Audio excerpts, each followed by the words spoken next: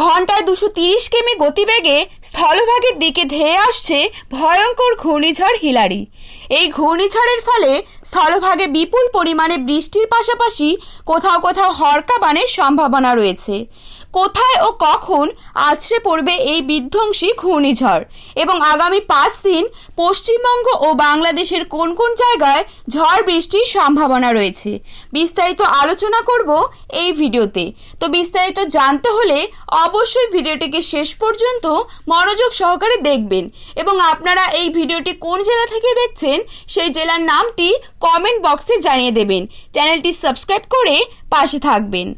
আবহাওয়া দপ্তরের পূর্বাভাস অনুযায়ী এই মুহূর্তে স্থলভাগ থেকে তিনশো পঞ্চাশ মাইল দূরে অবস্থান করছে এই ঘূর্ণিঝড় হিলারি, যেটি পরবর্তীকালে ক্রমশ উত্তর পশ্চিম দিকে সরে গিয়ে শনিবার রাতে মেক্সিকোর ক্যালিফোর্নিয়া উপদ্বীপে এবং রবিবার রাতে দক্ষিণ ক্যালিফোর্নিয়ায় আছড়ে পড়ার সম্ভাবনা রয়েছে। এই ঘূর্ণিঝড়ের ফলে তছনছ হয়ে যেতে পারে উপকূলবর্তী বিস্তীর্ণ এলাকা। এই ঝড়ের পাশাপাশি সাগরের জলস্তর বৃদ্ধি ও প্লাবনের সম্ভাবনা রয়েছে।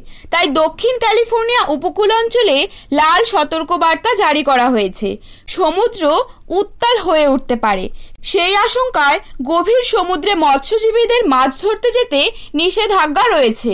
আলিপুর আবহাওয়া দপ্তর জানিয়েছে, এই মুহূর্তে উত্তর পশ্চিম বঙ্গোপসাগরে অবস্থিত নিম্নচাপটি ক্রমশ উড়িষ্যার উপকূল ছাড়িয়ে ঝাড়খণ্ডের ওপর অবস্থান করেছে, যার ফলে সোমবার পর্যন্ত দক্ষিণবঙ্গে হালকা বৃষ্টির সম্ভাবনা থাকলেও আগামী মঙ্গলবার থেকে বৃহস্পতিবার পর্যন্ত দক্ষিণবঙ্গের একাধিক জেলায় ভারী বৃষ্টির সতর্কতা রয়েছে।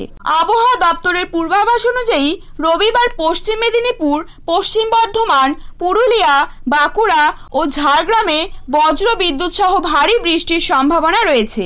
বাকি জেলাগুলিতে হালকা থেকে মাঝারি বৃষ্টির সম্ভাবনা রয়েছে। পরবর্তী চব্বিশ ঘণ্টা, অর্থাৎ সোমবার, পুরুলিয়া, বাঁকুড়া পশ্চিম বর্ধমান ও ঝাড়গ্রামে বজ্র বিদ্যুৎ সহ ভারী বৃষ্টির সম্ভাবনা রয়েছে।